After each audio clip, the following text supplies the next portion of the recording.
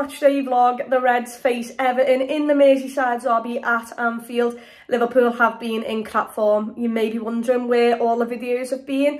Uh, it's been that simple. That I've been to all of them. Liverpool have either been battered um, and I do not want to put you through having to watch that again. I don't think you'd want to watch it again. Uh, or Liverpool haven't been brilliant um, and there's hardly any highlights really. So I haven't made a lot of vlogs for the games that I've been uh, I still have been going and supporting the team.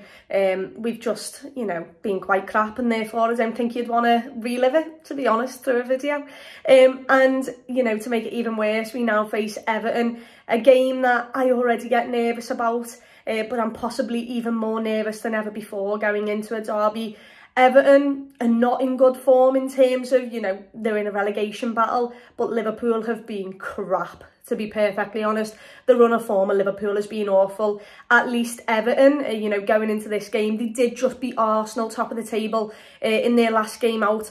And obviously they've got Sean Dyche, so that'll give them a little lift. Um, but Liverpool, you know, coming to Anfield, it's supposed to be and should be electric tonight and I'm really really hoping that we can get behind the lads. Um, because yeah times are tough for Liverpool right now but let me just tell you a derby win would mean so much. Uh, so yeah let's let's hope that the Reds come through. Uh, I am a little bit excited but obviously even more nervous. Um, before we do get to Anfield please do like this video and also subscribe to the channel. Uh, nice one for that. Right let's let's get there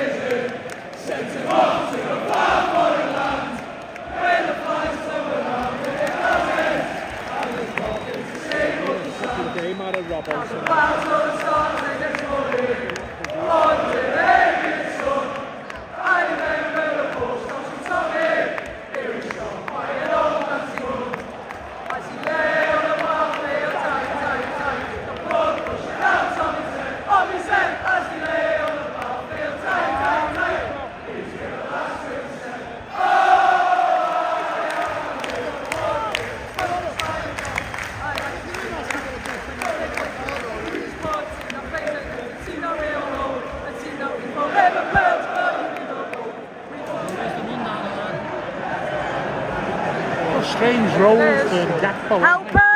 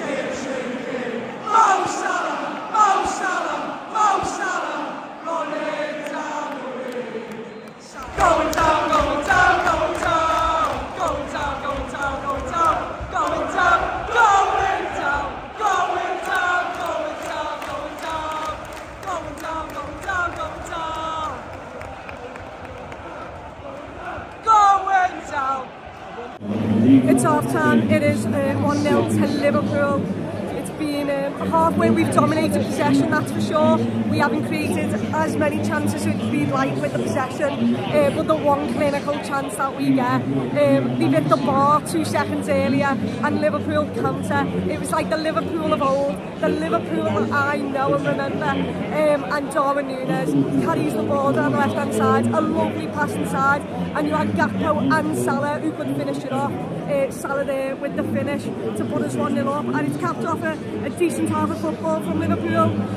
We've not really conceded much. They obviously are doing the long ball tactic, trying to get as many corners, and you can see why, because they hit the post from one, and we need to be careful of that, because that's where their goals are going to come from if they do get one. Um, but yeah, hopefully in the second half we can uh, turn all this possession into more chances uh, and more clinical chances that we should put away. But yeah, uh, see the little kid the back on. Uh, but yeah, as you know, 1-0 to Liverpool, decent half of football, more of the same in the second, please, Reds.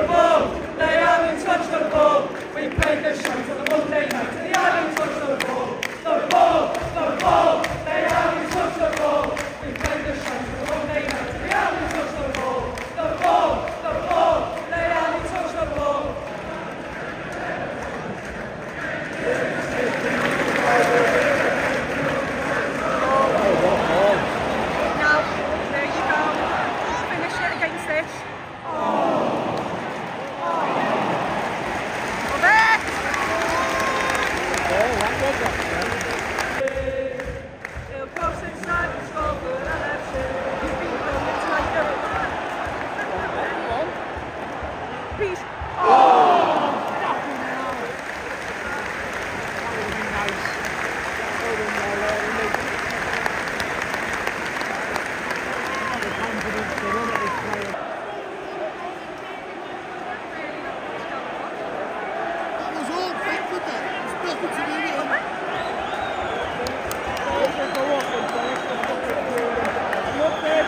Up and chin.